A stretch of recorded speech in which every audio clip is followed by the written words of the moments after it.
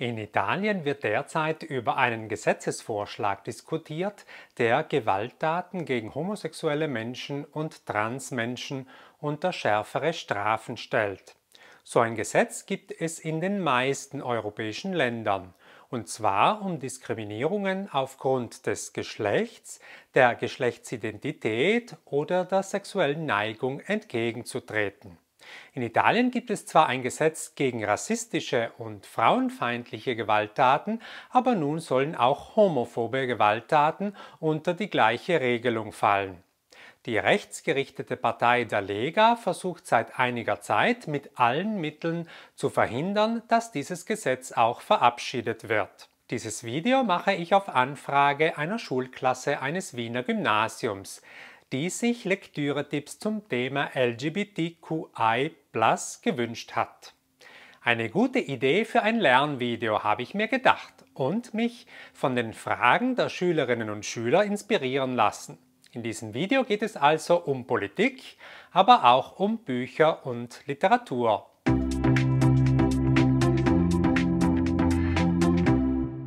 Ist es wichtig oder unnötig, dass es so viele verschiedene Bezeichnungen für sexuelle Orientierungen gibt? Welche Wörter und Bezeichnungen verwenden wir, um Menschen zu beschreiben?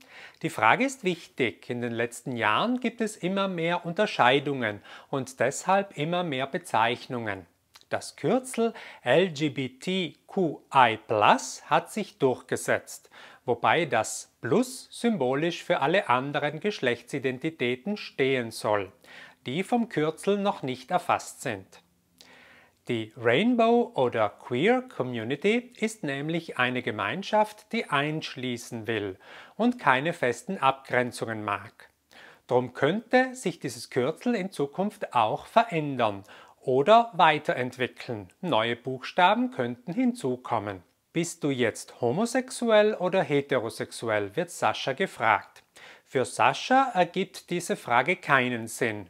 Das eine oder das andere kann man doch nur sein, wenn man sich auch mit einem bestimmten Geschlecht identifiziert. Sascha ist genderqueer. Sie, also die Mischform von sie und er, fühlt sich weder männlich noch weiblich. Diese Identität war schon da, das Wort dafür hat Sear erst im Internet finden müssen und sich dann vor den Eltern zu outen, das heißt, ihnen die eigene Gender-Identität mitzuteilen.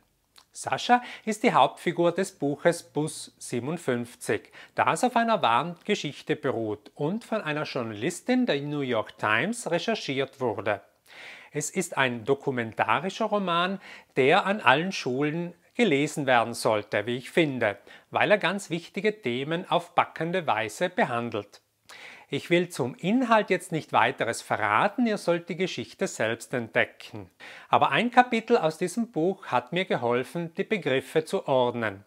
Und Sascha macht es ähnlich, er bringt mit Hilfe dieser Begriffe das Gefühlschaos in Ordnung, das sehr entwirren will. Geschlecht bezeichnet das Biologische, die Geschlechtsmerkmale die Anatomie also. Gender hingegen bezeichnet, wie sich Menschen im Inneren fühlen, bezogen auf das Geschlecht. Sexualität bezeichnet, zu wem sie sich körperlich hingezogen fühlen. Und Romantik, zu wem sie sich auch gefühlsmäßig hingezogen fühlen. Und zu jeder Kategorie gibt es eine Reihe von Begriffen. Ich nehme zum Beispiel an, dass die meisten von euch cisgender sind. Das bedeutet, dass Gender stimmt mit dem Geschlecht überein, mit dem ihr geboren wurdet. Warum scheren sich andere überhaupt darum, welche Sexualität jemand hat? Ist das nicht eine Sache einer Person selbst? Kürzlich ist dieses Thema auch in meinem Unterricht aufgetaucht. Eine Schülerin hat mir die Frage gestellt, was das Ganze mit Politik zu tun hat. Sexualität ist doch etwas sehr Persönliches und betrifft nur den Einzelnen und nicht die Gesellschaft. Dem ist natürlich nicht so. Wie man Familie definiert zum Beispiel, ist eine höchst politische Frage. Und es wird, zumindest in Italien, auch ganz heftig darüber gestritten. Je nachdem, ob man politisch rechts oder links steht, wird man die Frage ganz anders beantworten. Oft wird auch mit der Natur argumentiert. Als hätte es die Natur so eingerichtet, dass nur ein Mann und eine Frau eine richtige Familie bilden können. In der Philosophie spricht man hier von Naturrecht. Das bedeutet, dass man aus der Natur die Gesetze für den Menschen und das Zusammenleben herauslesen kann. Auf die Religion bezogen würden wir sagen, dass Gott in seine Schöpfung diese Ordnung schon eingeschrieben hat, indem er die Menschen als Mann und Frau erschaffen hat. Gott sei Dank gibt es heute in der Kirche auch andere Meinungen, die auf den neuen wissenschaftlichen Erkenntnissen beruhen. Zurück zur Politik. In politischen Systemen, die streng geregelt sind und keine persönliche Freiheit zulassen, in Diktaturen und Regimen haben es homosexuelle Menschen seit jeher schwer. Da macht es jetzt keinen Unterschied, ob die Staaten rechte oder linke Regierungen haben. Auch deshalb habe ich als Beispiel bewusst das Buch Im Wasser sind wir schwerelos gewählt. Es spielt im Polen der 80er Jahre, das bedeutet, dass das Land fest im realen Sozialismus steckt und als Bruderland stark abhängig ist von der Sowjetunion. Jede Kritik und jeder Widerstand gegen die kommunistische Staatsgewalt werden brutal unterbunden. Aber es ist eine interessante Zeit, denn einige Arbeiter in diesem Arbeiterstaat treten auf die Straße, um zu protestieren. Sie fordern Reformen. Mitten in diesen gesellschaftlichen Aufruhr hinein erlebt Ludwig, die Hauptfigur des Romans, seine persönlichen inneren Aufruhr. Er hat sich nämlich in Janusz verliebt. Doch diese Liebe muss geheim bleiben, denn Homosexualität gibt es hier offiziell nicht.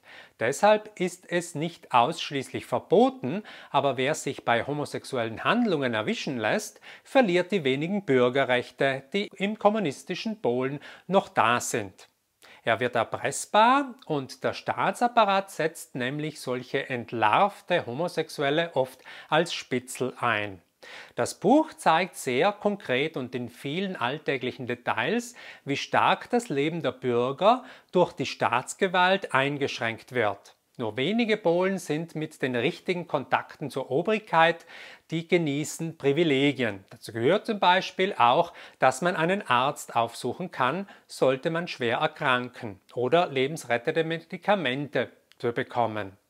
Vor den Geschäften bilden sich Warteschlangen. Man steht an in der Hoffnung, dass man am Ende dann irgendetwas bekommt. Das ist aber auch nicht sicher.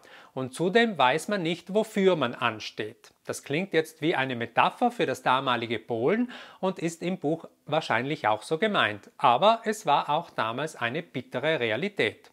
Und das zeigt dieser Roman in so beeindruckender Weise anhand der beiden Hauptfiguren die einander lieben, mit dieser Liebe aber ganz unterschiedlich umgehen. Der eine will zu sich und seiner Liebe stehen und deshalb von Polen weg. Er sieht für sich in seiner Heimat keine Zukunft mehr. Der andere hingegen hat sich mit dem System arrangiert und versucht die Privilegien zu genießen, welche die erhalten, die mit der Regierung zusammenarbeiten. Lieber verstellt er sich und verleugnet sein wahres Ich, als seine Sicherheiten aufs Spiel zu setzen. Was sind die Schwierigkeiten beim Coming Out? Viele Heranwachsende, die langsam erkennen, dass sie sich zum eigenen Geschlecht hingezogen fühlen, machen einen langen, schwierigen Prozess durch, bis sie zu sich selbst stehen können. Erst dann sind sie bereit für ihr Coming Out. Das bedeutet, dass sie ihr Schwulsein oder ihr Lesbischsein auch den anderen mitteilen. Das ist meine Privatsache, mit wem ich ins Bett gehe, werden vielleicht einige sagen, aber so einfach ist es nicht. Früher oder später kommt der Moment, wo man in der eigenen Familie, auf dem Arbeitsplatz, im Freundeskreis Stellung beziehen muss. Bis dahin ist es oft ein weiter Weg, auf dem es auch Rückschläge gibt. Vielleicht bleibt es so in der eigenen Familie lange Zeit unausgesprochen und ein offenes Geheimnis. Alle wissen es, und doch wird nicht darüber geredet. Internet hat sicher geholfen, dass sich junge Menschen weniger allein fühlen und die Möglichkeit haben, Kontakte zu knüpfen und sich mit anderen aus der Community auszutauschen. Aber im engen Kreis der Familie und im Freundeskreis den Mut für ein Coming-out zu finden, bleibt den jungen homosexuellen Männern und Frauen auch heute nicht erspart. Das Coming Out ist für jene Menschen schwieriger, die von Geburt an in ein festes Netz ethnischer und religiöser Traditionen eingebunden sind, deren Leben schon streng geregelt ist zwischen Religionsunterricht, Familienbräuchen und starren Geschlechterrollen. Fatima heißt die jüngste Tochter einer aus Algerien emigrierten muslimischen Familie, die in Paris lebt. In ihrem beeindruckenden Erstlingsroman erzählt sie auch von ihrem Coming Out. Ich heiße Fatima Das. Dieser Satz kommt in dem Buch refrainartig immer wieder vor und jedes Mal fügt sie eine neue andere Beschreibung hinzu. Beim Lesen spürt man, wie viel Anläufe sie genommen hat, um zu sich selbst zu finden, welche Rollen sie ausprobiert hat, um sie dann wieder zu verwerfen. Die bravgläubige Muslimin, die asthmakranke Schülerin, die mobbende und gewaltbereite Rebellin, die wie ein Junge aussehen will, das Mädchen, das sich zwingt, mit einem Jungen zusammen zu sein, die polyamoröse junge Frau, die mit mehreren Frauen zugleich eine Beziehung hat, bis sie dann Nina trifft und sich in sie verliebt. Und immer tritt sie in Konflikt mit den Erwartungen und Lebensregeln der anderen. Sie diskutiert mit ihrer Mutter in der Küche, ob sie zur Schuldirektorin muss, zum Psychologen geht oder einen Imam aufsucht, der ihr erklärt, dass ein stärkerer Glaube sie von ihrer Homosexualität fernhalten würde. Gott hat die Sünden im Wissen erschaffen, dass wir sündigen werden, sagt ihr der Imam. Fatima Das hat für dieses Ringen und ihre Suche eine passende Sprache gefunden. Das macht dieses dünne Buch so bemerkenswert. Am Ende versöhnt sie sich mit ihrer Mutter, der sie immer vorgeworfen hat, auch in ihrer Ehe nur eine Rolle zu spielen, da sie ihren Mann längst nicht mehr liebt. Fatima hat zu sich gefunden. Sie ist, wie sie ist und sie ist stolz darauf. Auf Englisch heißt Stolz Pride. Und dieser Name ist dann auf die gesamte Lesben- und Schwulenbewegung übergegangen. Wer sich für die Geschichte der Pride-Bewegung interessiert, dem empfehle ich den Roman Two Boys Kissing von David Levitan. Das ist einer der bekanntesten Jugendbuchautoren, der sich regelmäßig in seinen Büchern immer wieder mit LGBT-Themen auseinandersetzt. Im Buch wollen Harry und Craig den Weltrekord im Langzeitküssen aufstellen und deshalb küssen sie sich 32 Stunden lang auf einem öffentlichen Platz. Zugleich fließt in ihren Kuss die ganze Geschichte und das Ringen der Community um ihre Rechte und ihre Anerkennung ein. Denn sie wissen, dass sie nur deshalb ihre Liebe offen leben können, weil andere zuvor für diese Liebe gekämpft haben. Ja, ein bisschen kitschig wird es in dem Buch schon, aber dennoch lohnt es sich, dieser Geschichte zu folgen.